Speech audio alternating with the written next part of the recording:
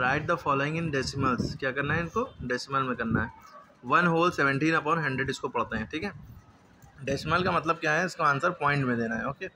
इस तरह से, जैसे ये है, नाइन अपॉइंट टेन था, ज़ीरो पॉइंट नाइन हो गया था। थर्टीन अपॉइंट टेन का वन पॉइंट थ्री, इस तरह। अब इसको पहले तो मिक्स फ्रैक्शन में ये है, इसको एम प्रॉपर में पहले करना पड़ेगा ना। एम प्रॉपर में करने के लिए क्या करेंगे हम? पहले हम याली लाइन खींचते हैं जो नीचे जो लिखा है वही उतारेंगे। हंड्रेड लिखा है तो हंड्रेड लिखा।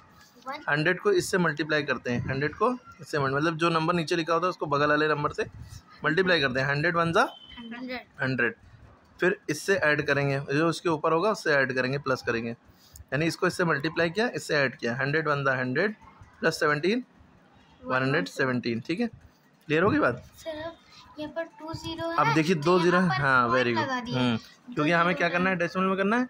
अब देखिए नीचे दो ज़ीरो हैं तो दो नंबर से पहले पॉइंट लग जाएगा। वन वन सेवन एक दो।